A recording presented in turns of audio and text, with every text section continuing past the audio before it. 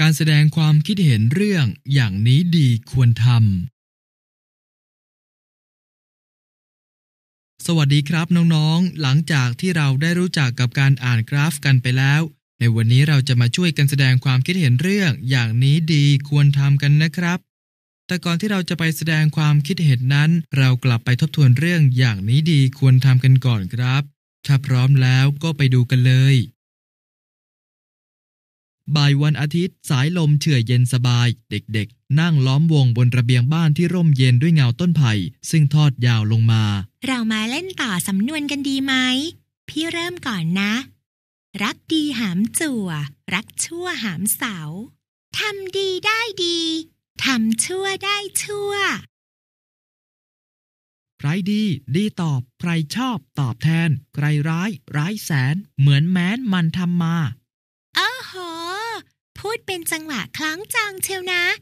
พี่กล้าวไปจำมาจากไหน จากหนังสือกำลังภายในนะซิมีทั้งกตัญญูรู้คุณ และอาฆาตพยาบาทจองเวเลยนะ ไม่โหดร้ายไปหน่อยหรอ นั่นสิ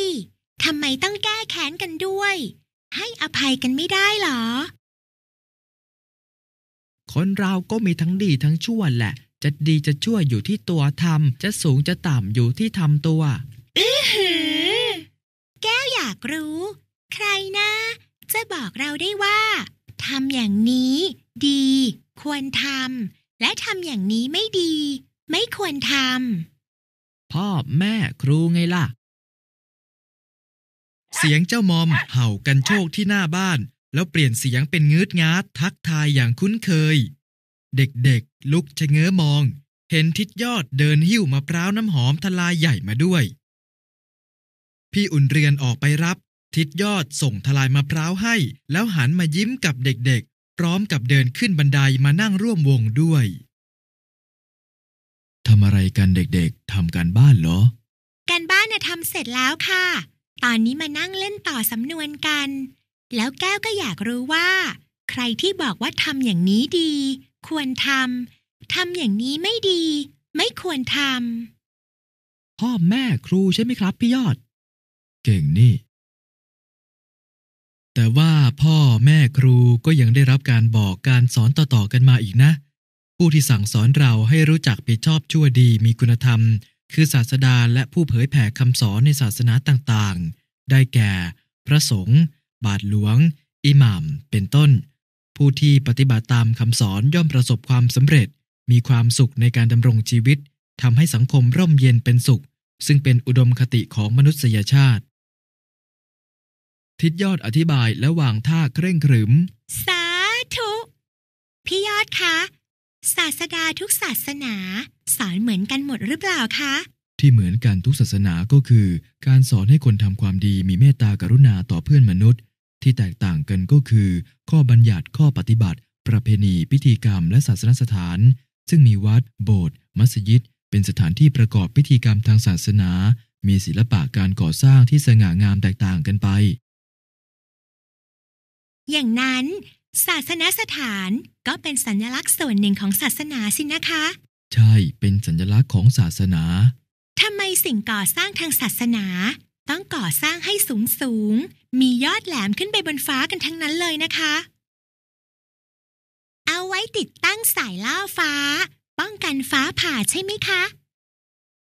ไม่ใช่นะ บางคนเชื่อว่าจะได้ใกล้ชิดกับสวรรค์ต่างหาก สวรรค์อยู่บนฟ้าไงล่ะ อ้าว แล้วสำนวนที่ว่า สวรรค์อยู่ในอกนรกอยู่ในใจ ก็ค้านกันนะสิ นั่นน่ะเป็นการเปรียบเทียบการกระทำของเรานั่นเอง คนเราทำดีย่อมมีความสุข สดชื่นแจ่มใส อิ่มเอิบใจเหมือนอยู่บนสวรรค์ ส่วนคนทำชั่วนั้น แม้จะไม่มีใครรู้เห็น แต่ตนเองย่อมรู้อยู่แก่ใจ ความกังวลทุกร้อนสมอยู่ในใจ เหมือนตกนรก ทุกศาสนาจึงมุ่งสอนให้ทุกคนทำแต่ความดี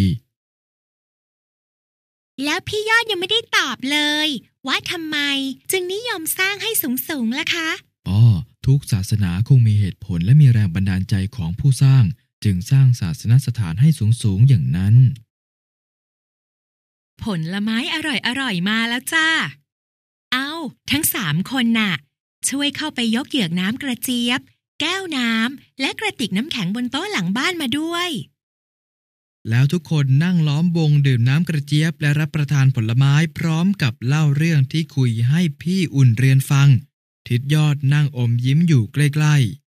ๆ ศาสนาเป็นหลักดำเนินชีวิตของชุมชน จะว่าไป ศาสนานั้น สอนคนไม่ให้ทำชั่วได้ดีกว่ากฎหมาย คือรู้จักควบคุมตนเอง ได้ทั้งต่อหน้าและลับหลัง และควบคุมจิตใจได้ด้วยพี่อุ่นเรียนร่วมวงพูดคุยได้สมกับเป็นนิติกรขององค์การบริหารส่วนตำบลหรืออบต ทุกคนนั่งรับประทานผลไม้อย่างเงียบๆ อยู่ครู่หนึ่ง ทิดยอดจึงเอ่ยขึ้นว่า ต้นเดือนหน้าว่าจะมีงานเทศกาลสงกรานต์มีกิจกรรมหลายอย่าง พี่เป็นประธานฝ่ายการประกวดก่อพระเจดีย์ทราย พี่ขอชวนพวกเราเข้าร่วมการประกวดด้วย สนใจไหม ตกลงค่ะ ใช่ยาเราจะก่อพระเจดีย์ทรายให้สูงขึ้นฟ้าเลย เราจะช่วยกันขนทรายเข้าวัด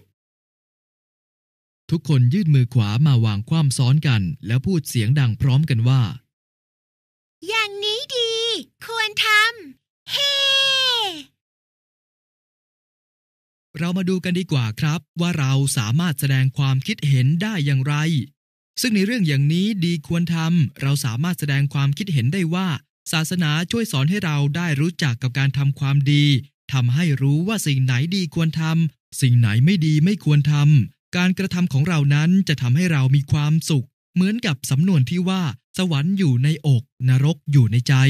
นอกจากนี้ศาสนายังเป็นหลักในการดำเนินชีวิตของมนุษย์ และศาสนายังช่วยสอนไม่ให้ทำความชั่วได้ดีกว่ากฎหมายอีกด้วยครับ หลังจากที่เราได้รู้จักกับการแสดงความคิดเห็นกันไปแล้วคราวนี้เราลองมาช่วยกันแสดงความคิดเห็นกับกิจกรรมร่วมด้วยช่วยคิดกันก่อนนะครับ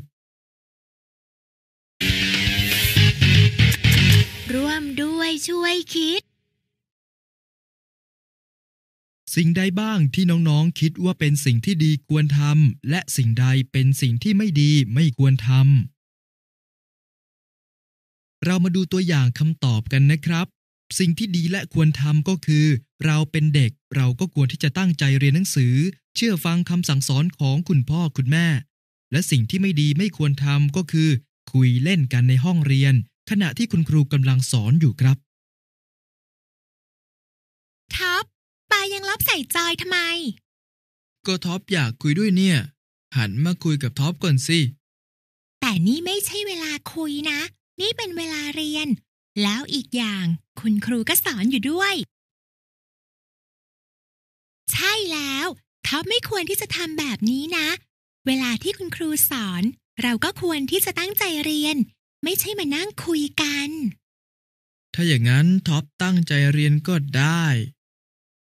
ดีแล้ว ถ้าตั้งใจเรียนเมื่อถึงเวลาสอบก็จะได้สอบได้